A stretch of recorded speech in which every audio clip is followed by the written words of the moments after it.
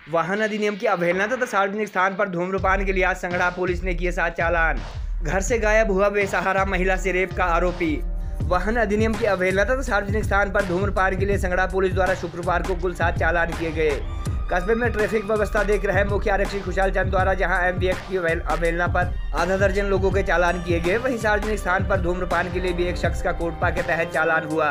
गत माह से प्रदेश सरकार द्वारा वाहन अधिनियम के तहत जुर्माना दर कई गुना बढ़ाए जाने के चलते ज़्यादातर लोग अब सेम डे में चालान का भुगतान नहीं कर रहे हैं और जुर्माना राशि वसूलने के लिए अब प्रदेश सरकार द्वारा केवल सब इंस्पेक्टर स्तर के पुलिस अधिकारी को ही अधिकृत किया गया है। उपमंडल संगढ़ा के अंतर्गत आने वाली सांगना पंचायत में बेसहारा महिला ऐसी रेप का आरोपी शख्स अब घर ऐसी गायब बताया जा रहा है। हालाँकि जानकारी के मुताबिक पुलिस उप शख्स की तलाश जारी रखे हुए हैं। गुरुवार को संगड़ा अस्पताल में महिला चिकित्सक मौजूद न होने के चलते पीड़िता को मेडिकल जाँच के लिए एमसीएच नाहन भेजा गया था।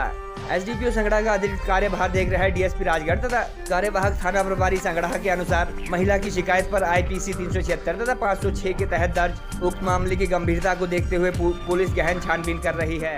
स्वास्थ्य खंड संगड़ा में आज कुल 921 लोगों को लगी कोविड वैक्सीन। 770 ने लगाई first dose. Medical block Sangrah में शुक्रवार को कुल 921 लोगों को कोविड वैक्सीन लगाई गई।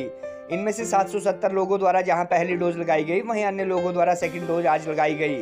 स्थानीय प्रशासन, स्वास्थ्य अधिकारियों व पंचायत प्रतिनिधियों द्वारा 31 अगस्त से पहले क्षेत्र की सभी चवालीस पंचायतों में 100 परसेंट वैक्सीनेशन की पूरी तैयारियाँ की जा रही है और लोगों से सहयोग की अपील की जा रही है।